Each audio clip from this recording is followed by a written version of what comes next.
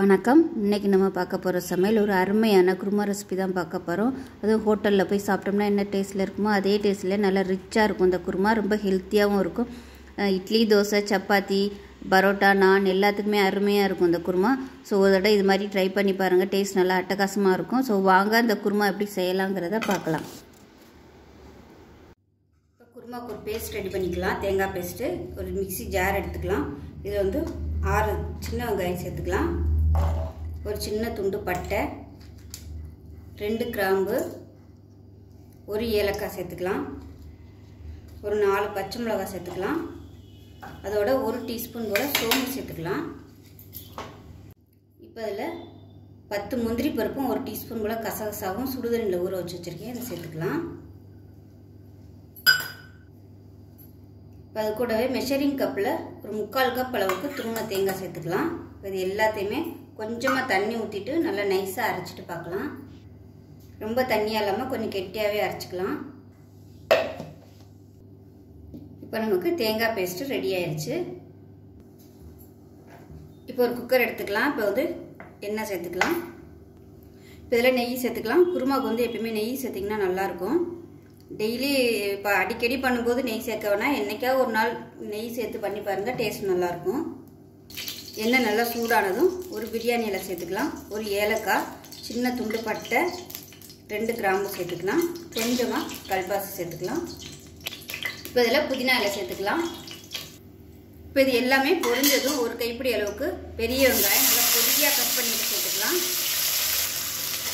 இந்த குருமாவுக்கு எல்லாமே ஒரே சைஸில் இருக்கணும். அதாவது வெங்காயம் தக்காளி காய்கறி எல்லாமே பார்த்திங்கன்னா ஒரே அளவில் இருக்கணும். வந்து வெங்காயம் பொடியாக கட் பண்ணியிருக்கேன். இதே சைஸுக்கு தக்காளியும் நல்லா பொடியாக கட் பண்ணியிருக்கேன். வெஜிடபிள்ஸ் பார்த்திங்கன்னா அதுவும் இந்த மாதிரி ஒரே சைஸாக கட் பண்ணியிருக்கேன். இப்போ வெங்காயம் நல்லா வதங்கட்டும். காலிஃப்ளவரும் அதே சைஸுக்கு கட் பண்ணிவிட்டு உப்பும் மஞ்சத்தூளும் போட்டு சுடுதண்ணியில் போட்டு வச்சுருக்கிறேன். இப்போ வெங்காயம் ஓரளவுக்கு நல்லா வதங்கிருச்சு. இதில் ஒரு டேபிள் ஸ்பூன் இஞ்சி பூண்டு பேஸ்ட் வந்து சேர்த்து நல்லா வதக்கி விட்டுக்கலாம். இஞ்சி பூண்டு பேஸ்ட் நல்லா வதங்கவும் மீடியம் சைஸாக ரெண்டு தக்காளி நல்லா பொடியாக கட் பண்ணிவிட்டு சேர்த்துக்கலாம்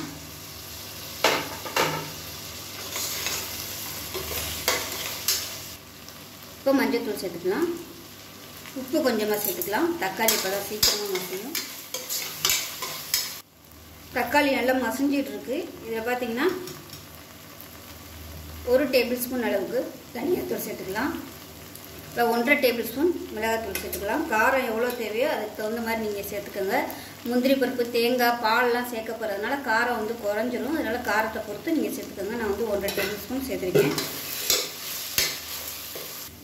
இப்போ பொடி சேர்த்துட்டு ஒரு ரெண்டு நிமிஷம் வதக்கி விட்டாச்சு. தக்காளியெல்லாம் பார்த்திங்கன்னா இந்த அளவுக்கு தோல் தனியாக வர அளவுக்கு வதக்கி விடணும். அப்போ தான் உங்களுக்கு வந்து அந்த குருமா சாப்பிடையில நல்லாயிருக்கும். இப்போ வந்து காய்கறி எல்லாம் சேர்த்துக்கலாம். உருளைக்கிழங்கு கேரட்டு பீன்ஸு பட்டாணி எடுத்துருக்கேன். இதில் வந்து எது வந்து உங்களுக்கு இருக்கோ அதை நீங்கள் சேர்த்துக்கலாம். வீட்டில் எது வச்சுருக்கீங்களோ நீங்கள் அதை சேர்த்துக்கோங்க. நான் வந்து எல்லாமே க எல்லா காய்கறியும் போட்டதுனால எல்லாமே ஒவ்வொரு கைப்பிடி அளவுக்கு தான் சேர்த்துருக்கேன். அதே மாதிரி காலிஃப்ளவர். எது சேர்க்குறீங்களோ இல்லையோ காலிஃப்ளவர் சேர்த்திங்கன்னா உங்களுக்கு ஃப்ளேவர் நல்லா கிடைக்கும். பிரியாணியாக இருந்தாலும் சரி. மற்றதெல்லாம் சேர்க்கறத விட காலிஃப்ளவர் சேர்த்திங்கன்னா நல்ல ஒரு ஃப்ளேவர் கொடுக்கும்.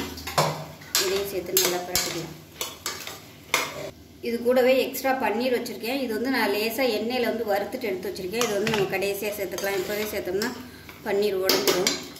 இந்த காய்கறி வந்து கொஞ்சம் வேகட்டும். காய்கறி லேசாக வதக்கியாச்சு. ரொம்ப வதக்கணும்னு அவசியம் இல்லை. நம்ம திருப்பி நம்ம விசில் வைக்க போகிறோம் அதில் வந்து வெந்துடும் இப்போ இதில் ரெண்டு டேபிள் ஸ்பூன் தயிர் சேர்த்துக்கலாம். இதையும் சேர்த்து நல்லா பரட்டி விட்டுக்கலாம். தயிர் ரொம்ப புளிப்பு இல்லாத தயிராக சேர்த்துக்கலாம். தயிர் சேர்க்கல ரொம்ப புளிப்பு இல்லாத தயிராக ஃப்ரெஷ்ஷான தயிராக சேர்த்துக்கோங்க. அப்போ தான் நல்லாயிருக்கும். இப்போ அது எண்ணெய் பிரிஞ்சு வரட்டும். இப்போ பாருங்கள் தயிர் சேர்த்துட்டு நல்லா எண்ணெய் பிரிய ஆரம்பிச்சிருச்சு. இந்த ஸ்டேஜில் நம்ம வந்து அரைச்சி வச்சா தேங்காய் பேஸ்ட்டையும் சேர்த்துக்கலாம். இதையும் கலந்து விட்டுக்கலாம். கலந்துட்டு வந்து ஒரு அரை டம்ளர் அளவுக்கு காய்ச்சாத பசும்பால் சேர்த்துக்கலாம். பசும்பால் இல்லை பாக்கெட் பால் எதுனாலும் சேர்த்துக்கலாம். இந்த குருமா வந்து ரொம்ப தண்ணியாலாம் இருக்காது. திக்காக தான் இருக்கும். இந்த வெஜிடபிள்ஸோடு எடுத்து சாப்பிட்ற மாதிரி தான் இருக்கும். அதனால் ரொம்ப தண்ணியாக இருக்குன்னு அவசியம் இல்லை. இப்போ கொஞ்சமாக தண்ணி ஊற்றிக்கலாம் இப்போ உப்பு செக் பண்ணி பார்த்துட்டு உப்பு சேர்த்துக்கலாம். உப்பு கொஞ்சமாக சேர்த்துக்கலாம். உப்பு பத்தலைனால உப்பு சேர்த்துக்கிறேன்.